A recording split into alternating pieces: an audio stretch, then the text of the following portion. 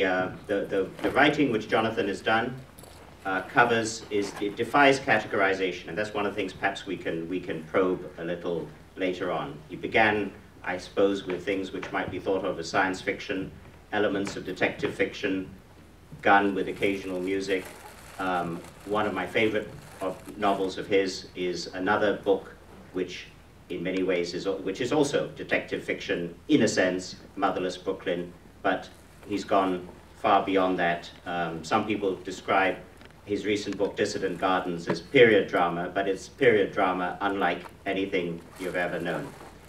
So let me not hold you back from uh, Jonathan Lethem.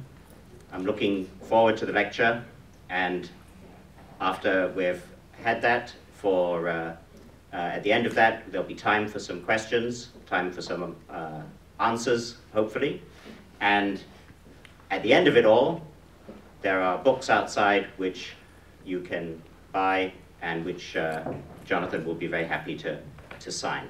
So let me now call upon Jonathan and put your hands together for him. Please.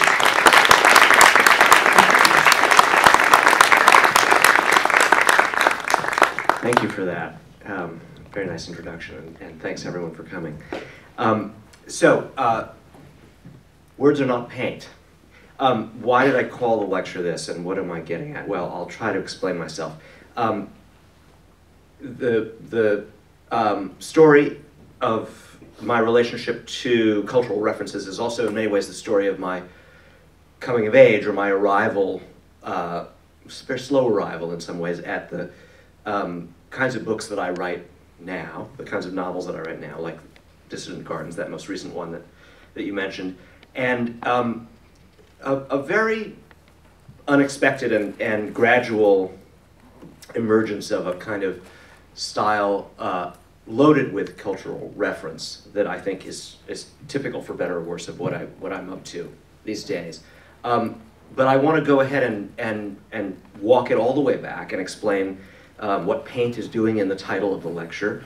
And, um, and to do that, I have to talk about my, my childhood and the beginning of my impulse to um, well, not, not so much to create books or stories or novels because I didn't know that I wanted to do that, but a much more elemental uh, impulse, which was to create anything at all. Um, my father is a painter, and and I grew up as a as a young boy. I grew up uh, drawing and painting because it was uh, it was available to me. It was obvious to me. It was a, it was in my environment. I mean, some of my earliest um, memories are of myself either getting into my father's studio while he was painting, or trying and failing to get into my father's studio while he was painting. And some of the first pictures of me are of me, you know, propped up at the wall, kind of imitating his movements as he painted. It was a very elemental part of, uh, of, of my you know, environment. It was probably in some ways a kind of pre-verbal interest of mine. And his paintings were always around us in the house, and his friends were painters, and we went to museums and galleries, and so uh, I was surrounded. In some ways, the way every child is surrounded by language, I was surrounded by visual language as well. Now, of course, that doesn't mean people weren't talking or telling stories in my immediate environment. And actually, um, my, my parents had a lot of wonderful books around. My mother was very verbal, kind of um, uh, a bon vivant, very charismatic, great talker. Um, uh, when she when she worked, she was mostly just a, a, a, parent, but when she worked, she was a social worker, and she basically was someone who, who talked to people for a living. Um, but I was immersed in this visual language that, that originated with my, my dad's artworks. And I loved it. I responded to it. It was very, um, it, was felt very uh, familiar and intimate and exciting to me. And when I began to go to school and look for the things at school that interested me or that would impress my my teachers, uh, help me carve out a kind of a particular uh, identity, suggest a talent. Um, it turned out I was, you know, I was good at drawing and painting. Um, I'd inherited a lot of my father's facility, his hand-eye coordination, his uh, his interest in color, his interest in form.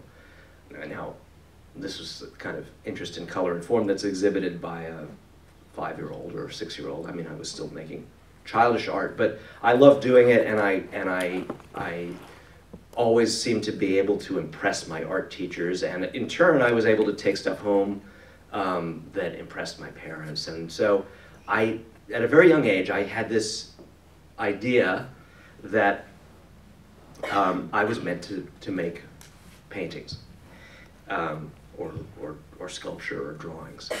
Um, it was it was an easy identity to latch on to. Now, you know, most, most people who become writers, the story is typically that of having to fight your way out of a more conventional expectation. You know, the parents who, um, in a gentle way or in a not so gentle way, are hoping that you'll become an upstanding member of society, which is to say, a doctor or a lawyer or a businessman or or in some other way be secure, be able to make a living, be able to take a place in society. To, be, to live a creative life is very desirable and, and inspiring, but it's also very threatening uh, because it's amorphous. It doesn't have, it's not anchored in, in, the, in, the, uh, in the world. It doesn't have uh, a very definite purpose. You know, American society is very deeply utilitarian. Um, we like things to be for something. We like things to be productive. And artists live this uh, threateningly obscure life. It's insecure, uh, they're inventing things that no one has any clear purpose for. Um, and so many people who want to become writers uh, have to find some way to justify themselves. Uh, and it takes a while in choosing to go off into, uh, you know, wherever it is, into these quiet rooms and isolation and, and just make make things up, make up stories and novels or essays or poems, and and claim that the identity is you know is a defining one. A lot of people are told when they're first told that they when they first declare that they'd like to write, they're told, well, that's very nice, but what are you actually going to do? You know, how are you going to how are you going to make a living? What's your real job going to be?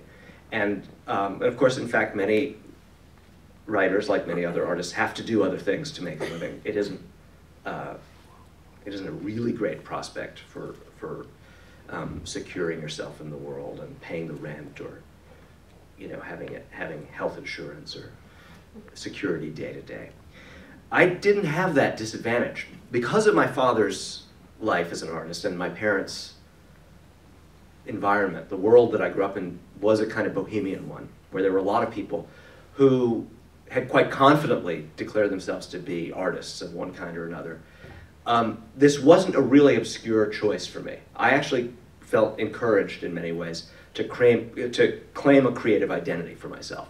But the one that was available, the obvious one, the one that I was beginning to exhibit some talent for, was this uh, visual arts. Um, you know, I was a, I was a prodigy with, with, a, with a paintbrush or a pencil. I, in, in high school, I began to do sculpture. I actually carved marble for a while. And I would bring home these giant marble heads from school, the way, the way other kids might bring home homework. Uh, and um, I got into college initially on the strength really of uh, a portfolio of drawings because it was what I'd spent most of my time doing growing up. Well, that's not, that's not actually true. I'd spent an inordinate amount of time also consuming all sorts of other things besides paintings and sculptures. I was making paintings and sculptures, but I was reading voraciously. I was reading novels by the bushel. I was going to films, both new ones and old ones. I was blessed in that New York City in, in the 70s, in the early 80s, was loaded with um, movie houses that showed classic Hollywood, that showed art films. Uh, there was the Quad, there was the Film Forum, um, there was the Thalia, and I would go and see all of Godard or all of Stanley Kubrick. You know, uh, I had this appetite for, for these narrative forms. I was a comic book reader, and I collected them, and I, I again, I read new ones and I read old ones. I went to shops and bought tattered copies of comic books from the 50s and 60s, and I, I read Mad Magazine. But I still thought that I was meant to be, in the mold of my father, I was meant to be a painter. I was meant to enter the world of the fine arts. And there were a number of things that I absorbed from his milieu and from the assumptions that surrounded his activities as a, a painter, a painter with the aspiration to be shown in galleries and museums. Um, uh, uh, the fine arts atmosphere was one that exalted a certain kind of high aspiration, modernist aspiration to make, um, you know, sublime things. And this seemed divorced in many ways from a lot of my other enthusiasms.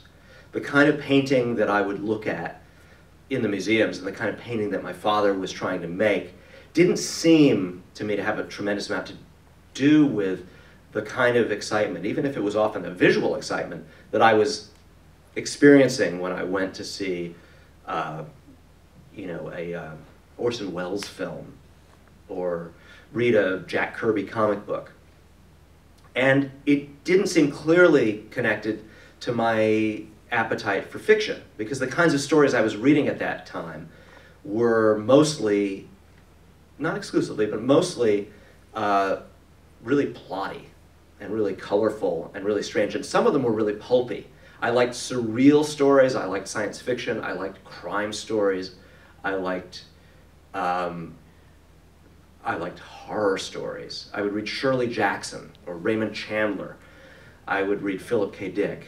And then I would discover these sort of literary things, but they seemed to me to be connected to this gothic appetite I had. I would read Kafka, or I discovered a Polish writer named Stanislaw Lem, or eventually I discovered Italo Calvino, who, who seemed to me deeply related to the science fiction and to the comic books I was reading none of this seemed to be exactly the same kind of art aspiration that was indicated by my father's painting.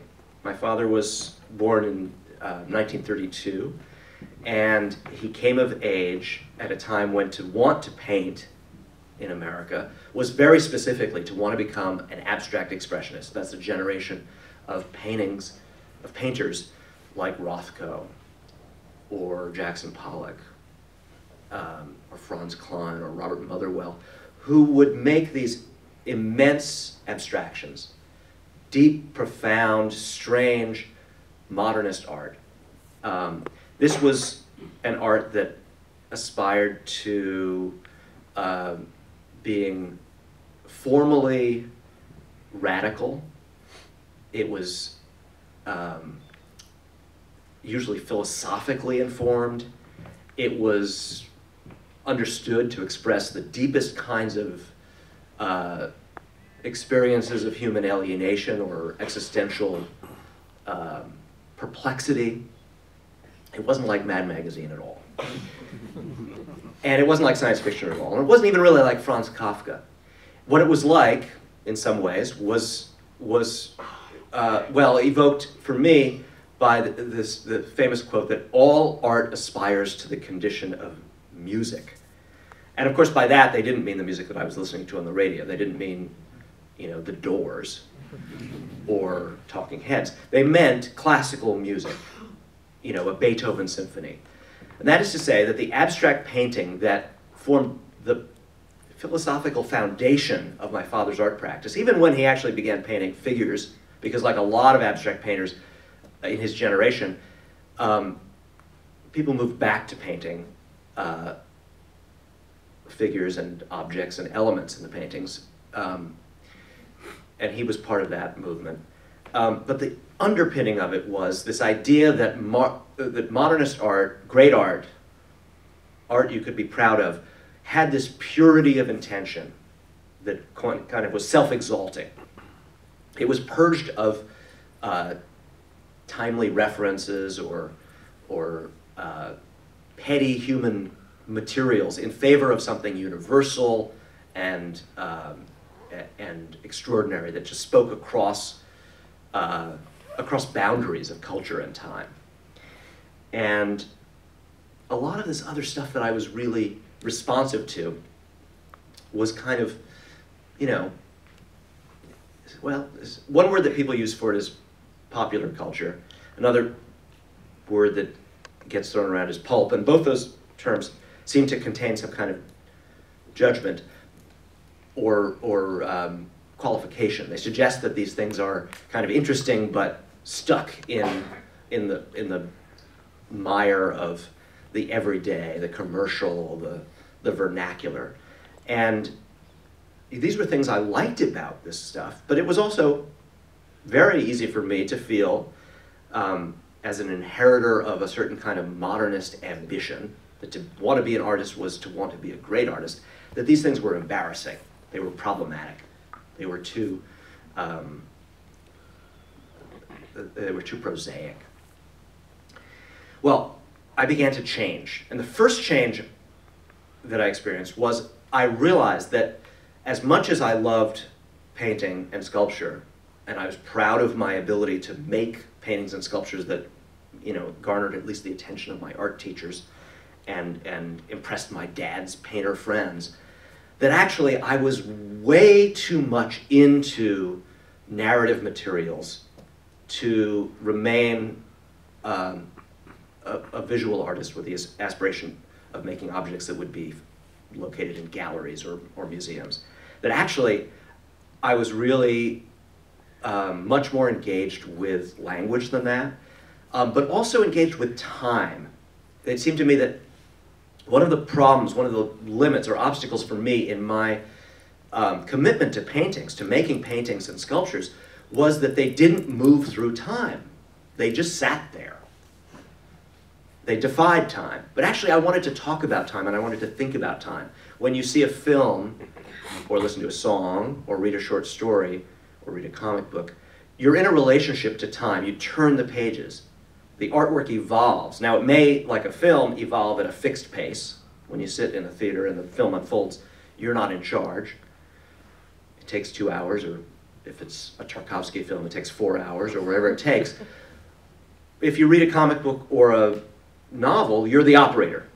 You speed it up or slow it down. You turn the pages. You decide when your eye skips from one panel to the next. Anyway, these issues, these questions of how you could relate to time in an artwork were enormously involving for me.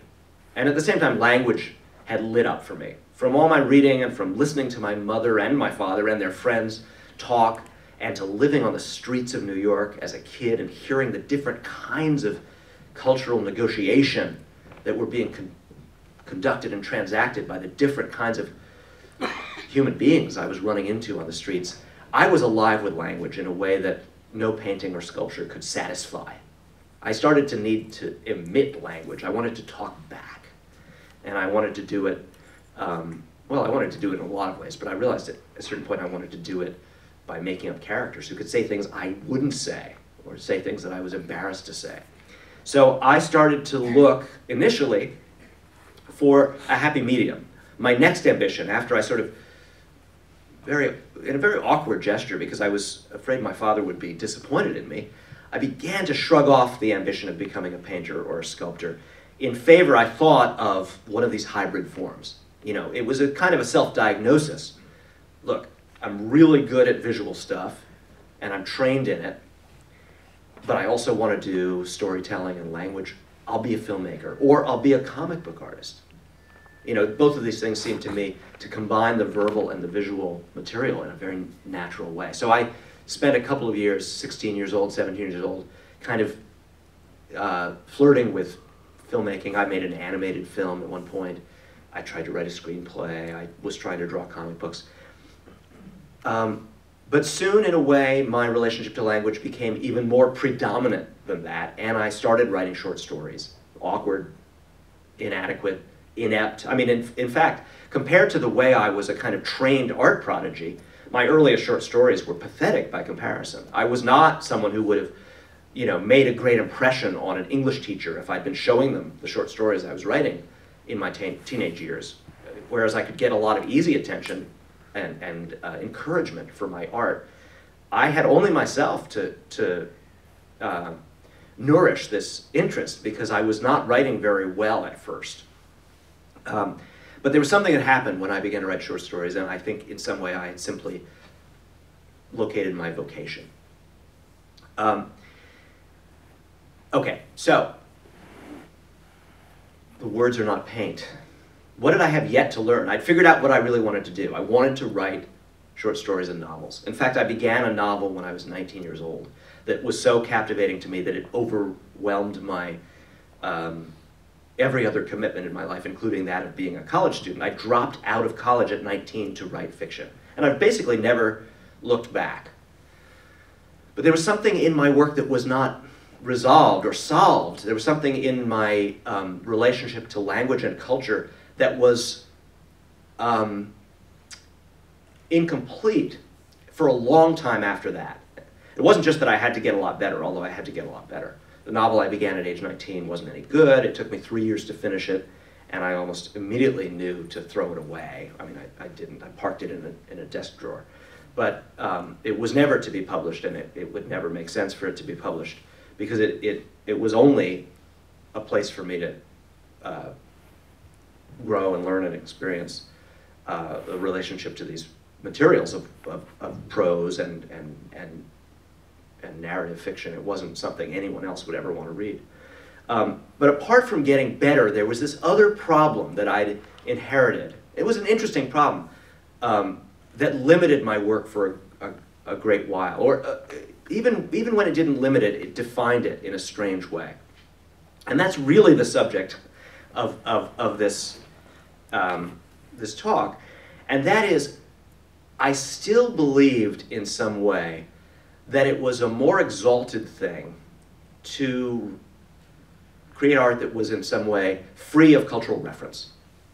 I believed because I'd been trained as a painter and because I'd inherited in, in the background this modernist ideal of doing things that were kind of timeless and transcendent and um, full of um, universal expressivity rather than kind of local remarks. Like Mad Magazine is full of local remarks. It's, you know, making fun of the newest movie that came out, right? Well, you wouldn't want to do that in a serious novel or story. You wouldn't want to talk about anything that was so time bound as a movie that happened to be playing down the street. You'd ignore that kind of material in favor of something more like classical music or an abstract painting. You would try to make stories that were as epic and timeless and free, not hidebound by cultural reference. This, I believed, was my job. Well, it was a very strange, uh, a very strange limitation to put on the, the kind of work I wanted to do.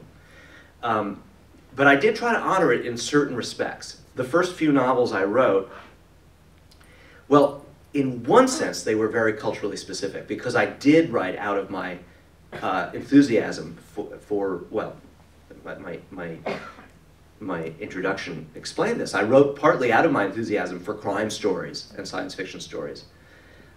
And also I was writing out of my, my interest in a slightly more literary version of the same thing. Kafka, George Orwell, Stanislaw Lem, um, you know, at that time when I when I set out, in a way, my model, the writer that I who was alive and working, who seemed to me to have done exactly what I wanted to do, who I wanted to be the most, was someone like Paul Auster, who got to make reference to um, to these vernacular genre materials, but to be taken immediately for a very pure and poetic uh, and kind of universal artist and taken very seriously, the way paintings in a museum are taken very seriously. Um, I believed it was necessary to find my way to a combination of, of these elements that um, would have a, a kind of uh, universal modularity that wouldn't be stuck in cultural reference. And so when my characters, for instance, wanted to mention a book or a movie, which sometimes they did, because growing up the way I had, I was very interested in people who liked culture. I liked books and movies, and everyone I knew did, and it, it seemed to me, or songs on the radio, it seemed to me that my characters were going to sometimes want to think about that stuff. But I, I thought that my job was always to make it up. So if my character listened to a song, I would make up a fictional song for them to listen to. And if they made reference to anything uh, in culture, it had to be fictional as well, because I thought by surrounding cultural reference with invention, it would become expressive, it would become timeless, it would become more like classical music or an abstract painting. It would be, I would flood the area with invention and transformation in order to earn my freedom to suggest that these characters live the way I did in, in a realm of cultural specifics. Well, that's a lot of extra work I was assigning myself. Sometimes it was really fun and really interesting and, and, and lively. Sometimes it also meant that I just left things really vague to avoid the references. Anyway, it certainly gave my first few books a particular flavor. They existed in a kind of parallel universe, a dreamlike space where there was just less specificity, because no one could ever possibly make up as much specificity as actually exists. You just can't do it.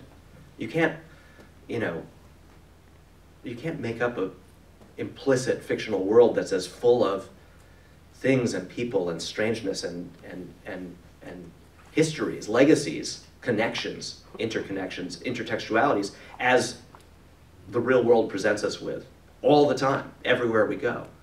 Um, so I would just leave that stuff out. The books took on a flavor. Well, uh, Paul Auster is a point of comparison. They had a kind of archetypal, dreamlike quality to them. Not something I was um, unhappy to attain, and I think that uh, that for a little while was my signature. What happened next?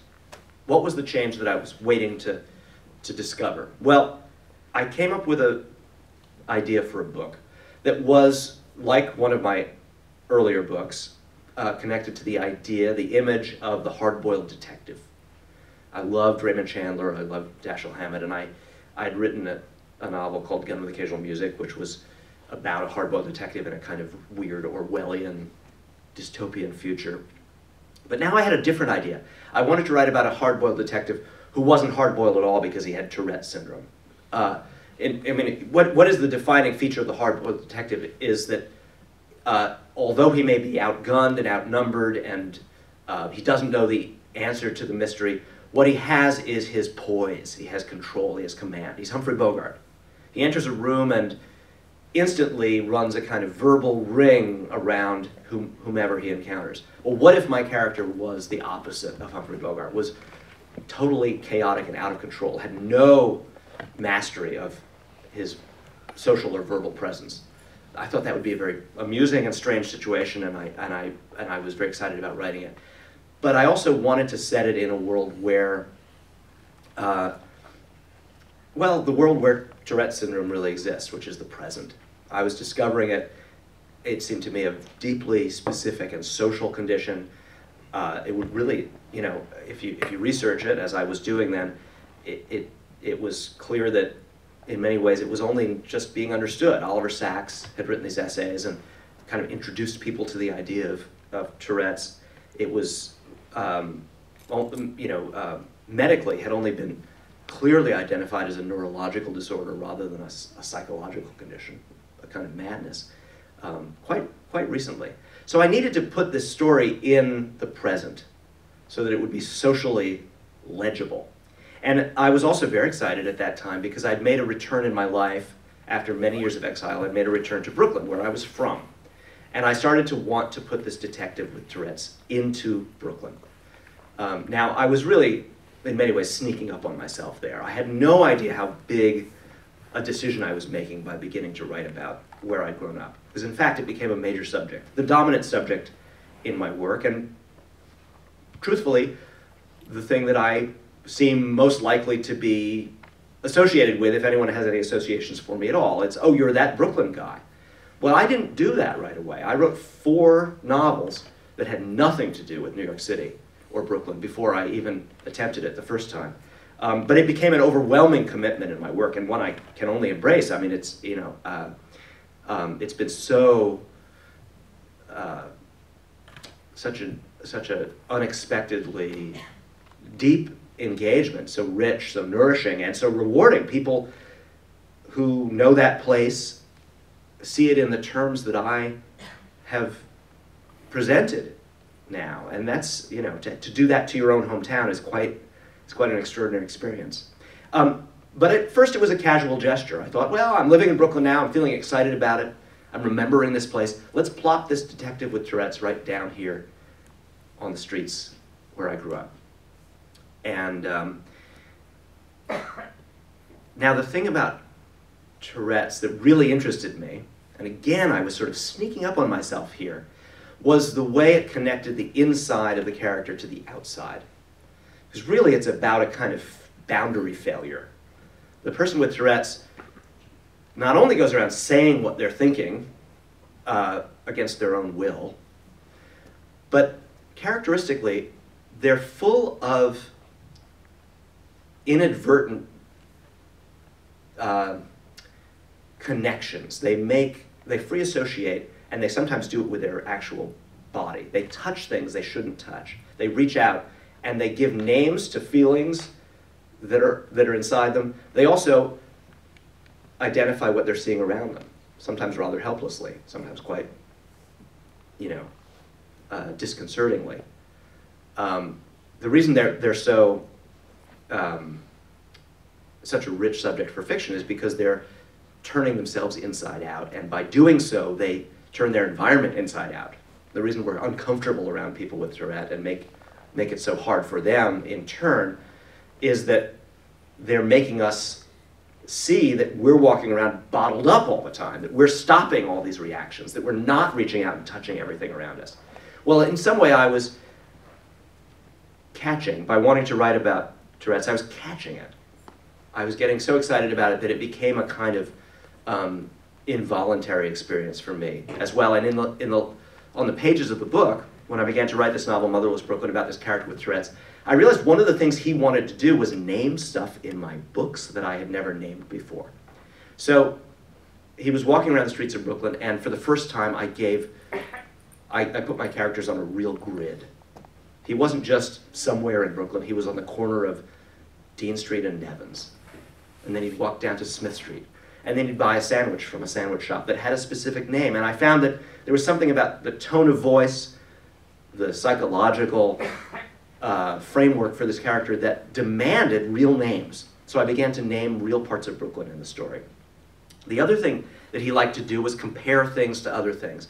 And he wanted to say, for instance, and he does say in the book, um, I love the song Kiss by Prince.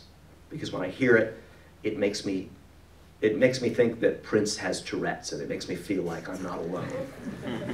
and he wanted to say, I love Don Martin's cartoons from Mad Magazine. And there is a page in the story where he talks about what he likes about Don Martin's cartoons from Mad Magazine, which is again that they connect to his syndrome. They make him feel that the way he feels nervous in his body has been recognized and identified by the, the way Don Martin draws his characters.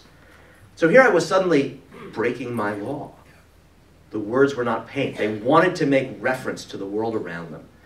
And, well, now, anyone who's even remotely familiar with what came next in my own writing life will know how crucial a, a transformation this was. It was an accidental one. But what I was next to do was to write a very large, very, at, at that point, very uncharacteristically autobiographical novel about growing up in Brooklyn called The Fortress of Solitude. And this book was nothing if not exploding with cultural specifics. At every point, in order to pin these characters to the page and say what they were feeling in their inmost souls, I had to say what song was on the radio. Not, a, not an imaginary one that I made up. I had to talk about Play That Funky Music, White Boy by, White, by Wild Cherry. Or I had to talk about going to see a Charles Bronson film at an exploitation theater on Court Street in, you know, on a certain summer afternoon in 1978. That was the only way I could crack the material open was to just smother the pages with cultural references. I had to violate my prohibition utterly. And, you know, one of the things that happened actually was people began to ask me the question, was I worried that this would render the books, uh, you know, would it, would, it, would it damage their accessibility or their universality? So the, the anxiety that I was carrying around with me wasn't something I'd made up totally out of whole cloth. it in, in fact immediately generated this concern from the outside. People would say, well, I really liked this book and I really understood this character, but don't you worry that 100 years from now no one will know what, you know, play that funky music white boy sounds like and your, your story won't work anymore? And I had to think about it. I had to, you know, in a way I had to defend what had become a necessary decision. It, was more than a decision, it was a whole new style of working for me. And I, I sought and located my, my defense in um, a writer that I had been reading a lot of in the period just before, and I suddenly realized had informed this work very directly, and that was Charles Dickens. So I thought about the experience of reading, you know, a book like Dombey and Son or, or Great Expectations, and I realized Dickens at every point drowns you in 1840s, 1830s London. He just gives you everything. Every street name, you know, the advertising jingles that people are singing in the shops, the, the scraps of newspaper headlines, the, the recent true crime stories that are, people are gossiping about on street corners. He never hesitates to just overwhelm you with what that city was like for him at that time. And the reason it all works is not because you understand it all or you recognize it all or you can translate every reference, but because for him, every reference is emotionally charged. It's alive. It's nervous with his quality of alertness to his character's existence in a human world.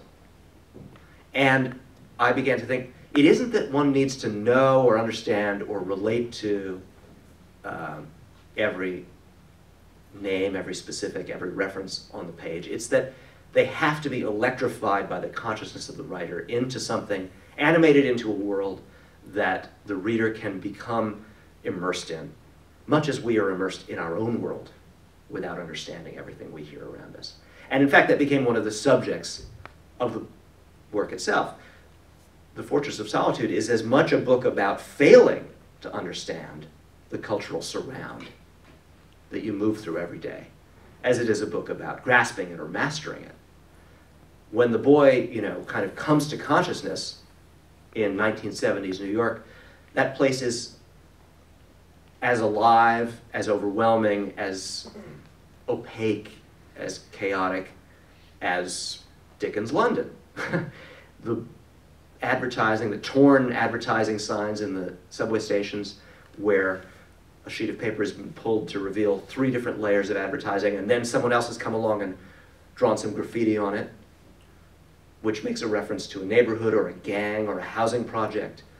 All of these codes, these layers of language and culture, are the world that we move through, especially for city dwellers in the 20th, 20th and now the 21st century.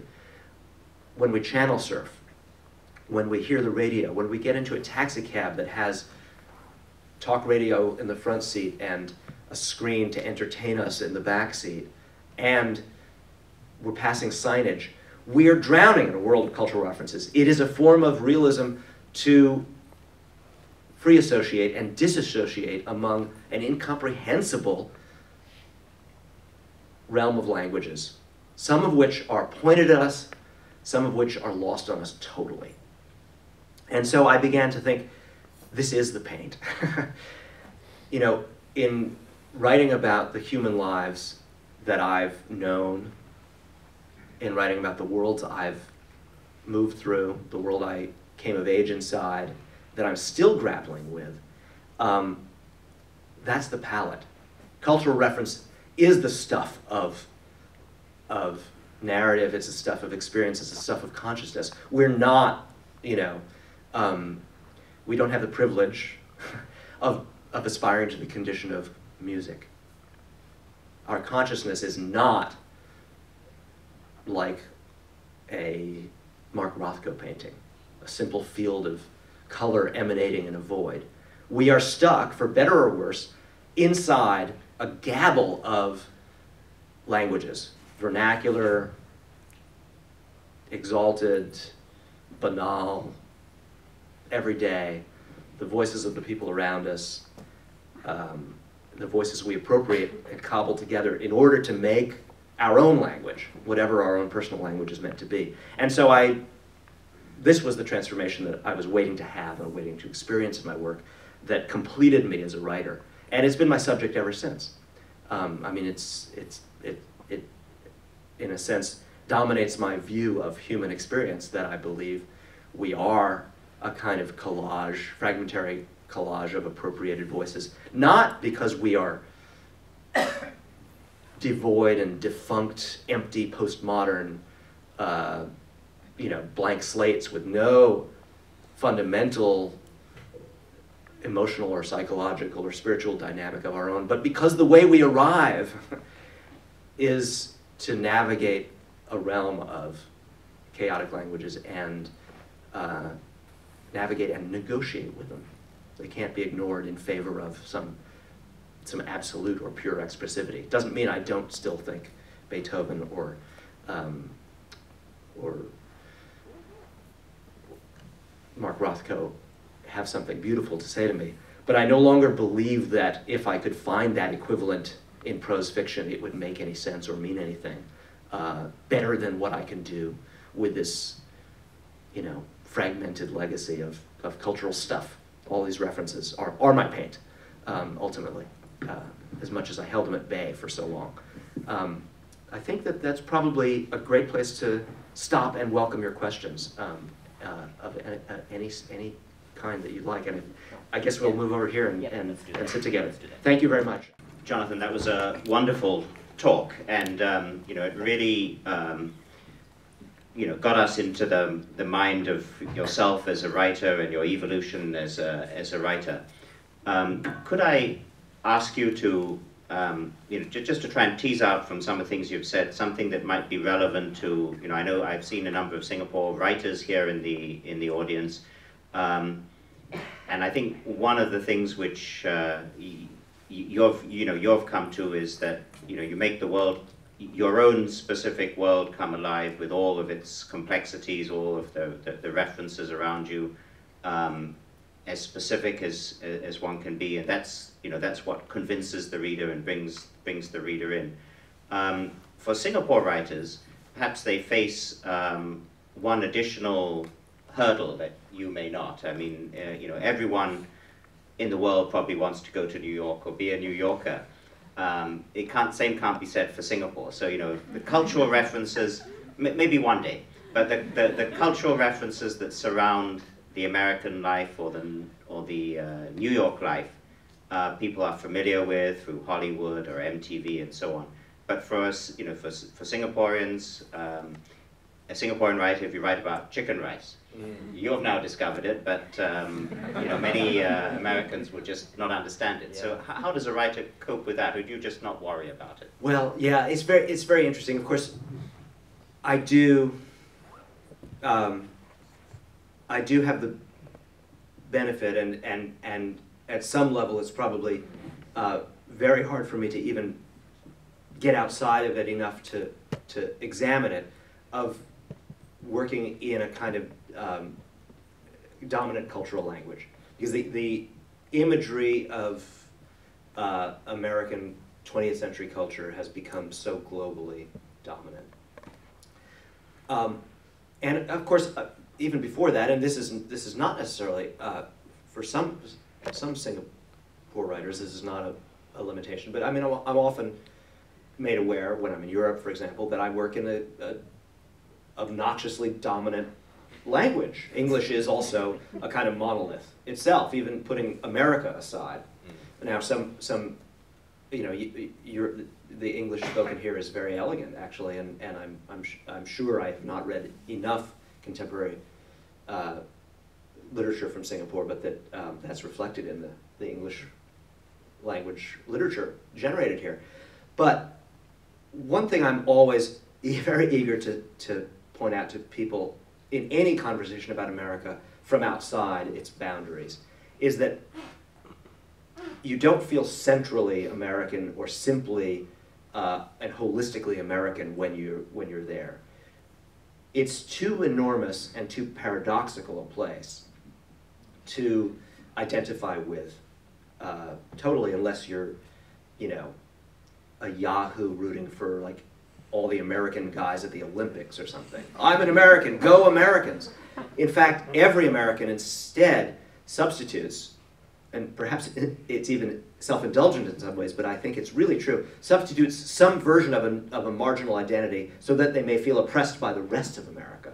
And so being a New Yorker, for instance, or being a Southerner, or being, you know, uh, you, you always identify uh, by your uh, shred of immigrant status. I mean, one, one famous thing is that every Midwestern family, my, I have this on my father's side because my father is a, from a five generations Protestant Missouri, Midwest uh, farm belt family. But every family like ours claims some, that somewhere there's some Native American blood. You know, this is a, a form of that indulgent uh, uh, the seeking of a marginal, a kind of a grievance, so that the rest of America can be um, taken as a kind of the, the norm and you're working some kind of angle or margin. Uh, you've got some special uh, peripheral identity.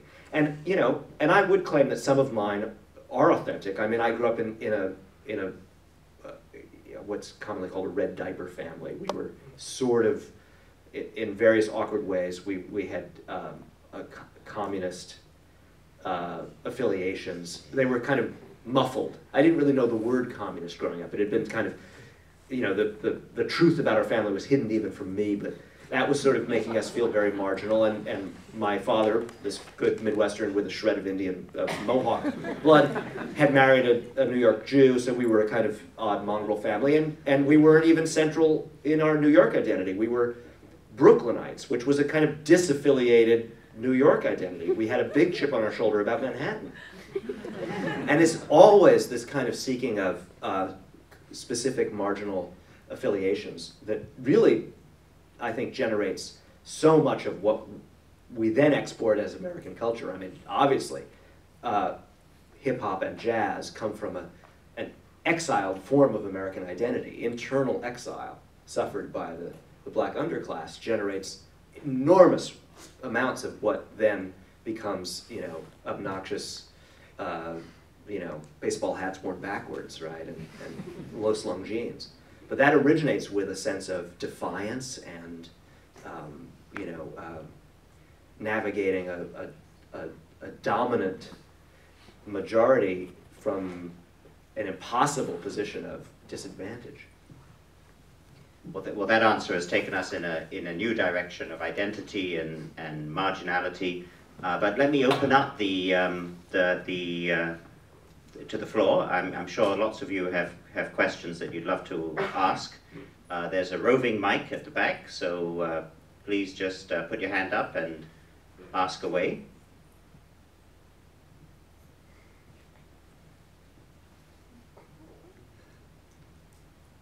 It can be about Mad Magazine or Prince, too. Yeah. yes. Over here.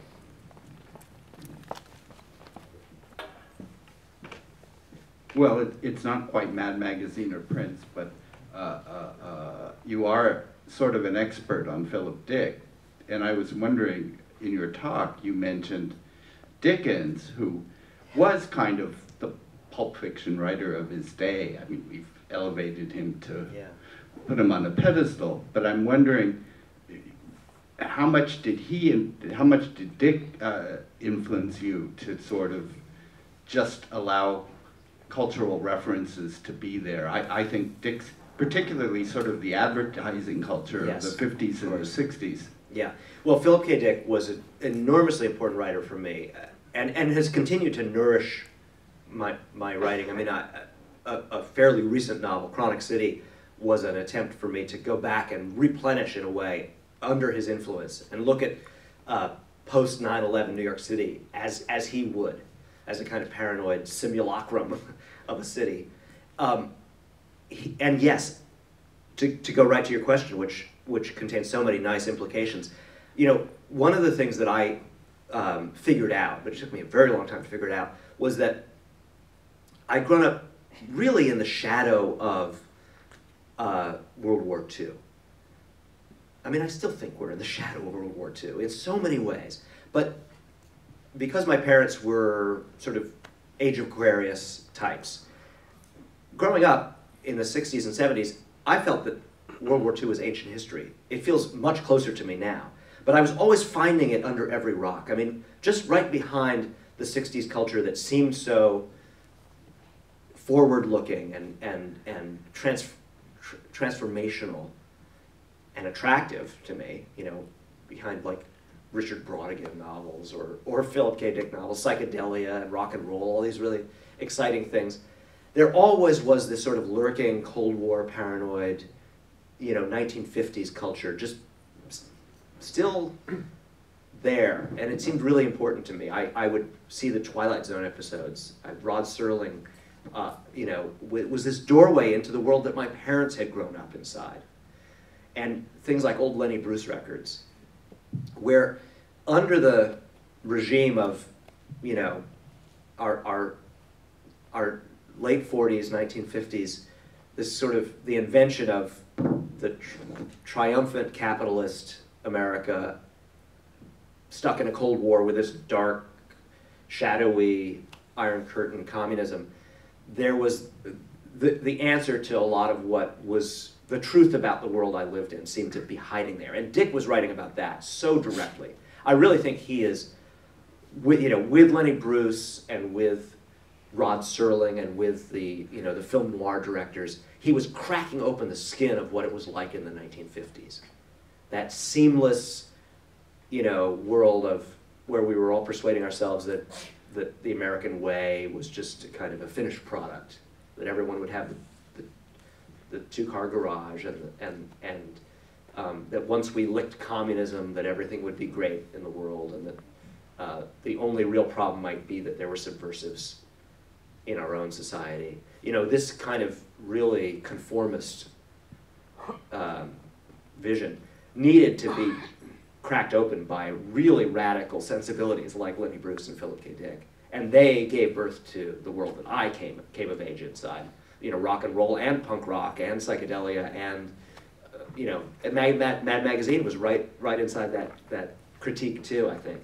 So he's a very important writer to me in the way he was able to, to look at American life. But he seemed a very disreputable character. I mean, now he's taught in universities and stuff. But when I was reading him in out of print pulp paperbacks in the 70s, he seemed much more, much closer to, to a comic book than to literature. Well, not to mention these days all the Hollywood blockbusters based on his stories. Right.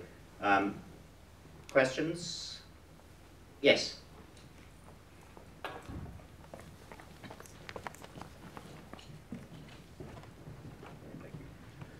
Um, you were talking about how, how big visual art was as a, um, in, in mostly your younger days, uh, and just informed so much of, of who you were. Do you still do you still paint? Well, I have these two little kids who like me to draw for them and with them. So I'm actually handling like crayons and a paintbrush and, and you know, or just drawing with a pen on on on um, you know printer paper. So much more than I have in such a long time, and it's really fun to reanimate the just the physical act. It's been surprisingly rich for me, but the uh, ambition ev- evaporated totally. I'm so fulfilled as a as a writer of stories and, and novels. I mean, in fact, all the other parallel ambitions. I don't, you know, I love film and I think about it all the time. I don't have any desire to make a film or to make a comic book or to make paintings or sculptures in a serious or ambitious way because I'm just so, you know, it was such a consummation for me when I figured out I could I could become a novelist and I would write books that people would want to read. It just took care of every scrap of ambition. So when I when I draw now and I like to, it's just sort of like a fun. It's like a sport or something. Oh, look, I can kind of make that look, and the kids like it a lot. They really like it a lot. So that's that's great. It's sort of like I went from impressing my dad with it to impressing my kids with it. It sounds a little bit from that that you, you, you painting for you is something you you've done for other people, and uh, whereas uh, the writing seems to come so much from within Yeah. yourself. Well, yeah, the painting turned out to be a social Hmm. uh, you know that, that my my art skills turned out to have this social value that was really enriching once I located my aspirations elsewhere. Yeah. Mm. Okay, we have time for a couple more questions, yes? There's, uh, well, there's three here. One, uh, the the gentleman at the back, and then this gentleman, and was there somebody else? Yeah, the lady over there. Um, I wanted to go back to you using cultural references to add color to the fiction. Um, one of the fears was if people were outside of familiarity with the reference, uh, it wouldn't be accessible to them. Um, I was wondering if you could talk more of how the reference operates to add color to the fiction in terms of is it just the abundance of culture? Because you talked about how we're sort of inundated with it everywhere. Or is it the actual reference itself, like how the music makes someone feel or how an environment is? Because if it's the latter, it still seems like it would potentially It alienate people. Could be dependent on Yeah. familiarity. That's a great question, because it really, it really sharpens up something that I, I was uh, leaving a little bit, uh, I was letting converge. I think there's two things. One is the immersive abundance of cultural texture. You know, that kind of falling into a Dickens novel the way you fall into an ocean, and you, you only really can see a couple of inches in front of your face, and what you meet might be strange, might be familiar, but you feel this powerful sense of uh, the real property of existence in, in, the, in the active immersion. You're connected to the whole ocean, even if you can't comprehend it or see its depths. And that would be a matter of letting yourself, which is, you know, also, of course, a risk of becoming prolix or just, you know, um, too verbose, but letting yourself add a lot of cultural detail uh, because you know it has a value in and, in and of itself as a kind of uh, world substitute. You know, and I, I've come to I've come to write longer novels partly because I've become more interested in their ability to substitute for the world. Once I started using more cultural references, um, I I just got interested in what you might almost call thicker textures. You know, and it does slow the narrative down, and I'm sure there are people, you know, you can't do all things well at once in a given book, and I'm sure there are people who, you know, liked being able to kind of tear through my stories because they were sometimes very fast-moving stories, and I'm definitely not providing that service anymore. I just can't. um, but the immersion started to seem like really, really, the thick texture seemed really uh, nourishing to me in a way that was worth sacrificing uh, uh, concision for, at least uh, in, in, in, in, at some, you know, it was, it was always a negotiation. How, you know, time in fiction is really, really strange because you can make a moment take up 50 pages and you can, or you can bury it implicitly in a, between two sentences and have it not represented on the page at all. Time is so plastic. Um, but the other thing, which is the where you make a slightly larger commitment to a reference, like the way um, the character in sixth grade in The Fortress of Solitude uh, feels about that song, Play That Funky Music, is tricky. You either have to describe the thing a lot and, and make sure it's, you know, and I did. I just, I, I, I, I obviously can't have, it's not like a link in a website where I can have a song suddenly play when you run your eyes over the, that part of the text. But I think that I just knew that I had to bring that song to life as a problem and, a, and kind of like a burden and a, an energy for this character. So I devoted some time to, to describing it. Now, how that will work when certain frameworks fall away, like when maybe music doesn't come in three minute pop songs anymore, or the word funky sounds, you know, like something out of a medieval manuscript does to us now. I, I can only worry about those to a certain extent. You know, posterity becomes this sort of fool's errand. I have to write for present, the present life of my present readers. Hmm. And, and, you know, if God knows, you know, I mean, basically we, we skip along remembering about three writers per century, right? If somehow I am graced with that reference needing to be like a footnote, the way a lot of things in a Shakespeare text are footnoted now, well, it's like I won the lottery. But the chances are, however good a job I did on that book, it's for my contemporaries. That's who I'm writing for. So I just have to make sure it can work on those terms. And getting obsessed with making your work um, modular forever. I, you know, it's, I, who knows, even, even the Beethoven and the, and the Rothko are culturally specific. They have frameworks and contexts that animate their meaning. The space of a museum, windows, the, his, the historical tradition that brought those paintings to, to come to be could dissolve. And they might not mean anything either. So you can't, you can't worry about that. I I know there are competing events that people may want to go off for, but I, I did indicate that there could be two more questions. If perhaps if both questions could be asked at the same time, you, were- did you, do you still want to ask a question? Oh, yes, yes, yes. Yeah, so why don't you do that and then uh, the other one and then, Well, I'm just uh, curious about, uh, especially about fiction writing, in your type of writing especially. Now, um, now we create work, or we, we create geography, we create locations in work of fiction. Now, can't certain culture be fabricated as well to ma- also make it credible and um, believable? I think I don't understand the question in there. Okay, I'm interested. yeah. Okay, like okay, in your kind of work, all right, uh, can culture be fabricated? Oh, you when when I was sort of trying to make up Yes. Yeah, well, it was a great sport for me, and and you know one of the interesting things is I circled back to it. I started to realize after you know in um, Fortress of Solitude, which is a you know really kind of a watershed book for me because I just I treat the cultural world as a kind of documentary space. I try to bring it to life with enormous accuracy, and then drop fictional characters into that documentary space. You know, 1970s Brooklyn. Um, later in in Chronic City. I started to become interested in doing both my old method and my new method. I put in a lot of real culture and I made up, you know, things that didn't exist. I made up bands that didn't exist and I put them into real histories. Yeah. I, I, I put Marlon Brando into movies that don't exist.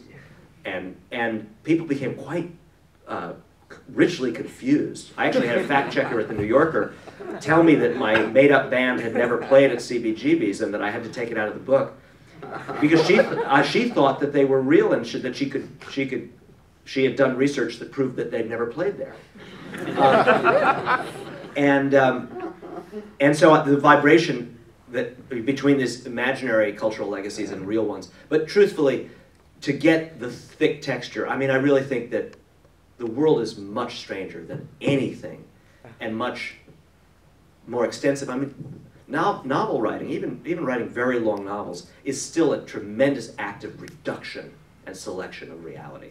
Oh yeah. I mean, we know when we look at a poem, or you know, or like a, a one-act play, we know life has been shrunken into kind of a kabuki version of itself, a tiny little gesture standing in for all of it.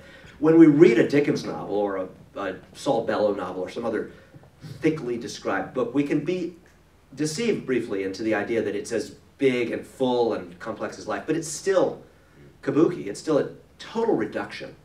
So much has been excluded to, to, to make those pages fit inside a book. Oh. The world is uh, incomprehensibly larger than even, you know, uh, Proust or the largest novels that were ever written. Sure. Thank you. last, last question? Hi, um, my question is actually closely related to yours. It might, in fact, be redundant. Oh, okay, Uh, there, there, there was one gentleman who had his hand up. Let, let us pass it to him. There's this gentleman here in the brown sweater. You, you've Gesandter. Come on, yeah. Uh, uh, thanks for your lecture. Thank you. Yes, um, I kept falling asleep, waking up, falling asleep, waking up. Um, just a simple question. Would you consider uh, your fiction speculative? Oh, well, that's, that's a really good question. I mean, I always liked that word uh, because it seemed like a, um, a, a nice substitute for the really, you know, science fiction has this really uh, broken name. It's not, you know, it's not scientific. The stuff I like, and certainly the stuff I wrote or was capable of writing, isn't really scientific in any uh, regard. But this idea of speculation, or uh, there was a term I liked even better, was cognitive estrangement. Fictions of cognitive estrangement. Uh, which is, you know, it brings together the idea of uh, well, you know, Keats has this idea of negative capability that you, in a sense, that in writing you must aspire to be other than yourself. Now, of course, you're yourself. You're stuck. So it's the aspiration, the attempt to push outside of the limit of yourself, and the tension between that and the unmistakable fact that you'll always revert to, to, to, to your own voice and your own perspective. You're stuck. You're inside your own consciousness forever. It's a tomb or a prison if you want to be, you know, uh, doomy about it. Um, but the reaching is so important. Well, cognitive estrangement is to take that and make it a matter that's not about the self, the individual self, but about the world. It's fictions that try to make the world other than it is in order to see, in order to feel what experience is like. By, by altering, speculating, or extrapolating, you, you're pushing the world out of itself. Of course, it's itself, but you've seen it differently. I, I feel as though I have another hundred questions I'd like to ask you, but unfortunately we, um, we really have to bring things to a close. So first of all, can I just remind everyone that Jonathan will be outside uh, and will, you know, happily, I believe, sign, sign books uh, um, uh, uh, after this. And secondly, can I uh, thank Jonathan for, you know, honoring us by coming all the way here. Thank you. Thank you.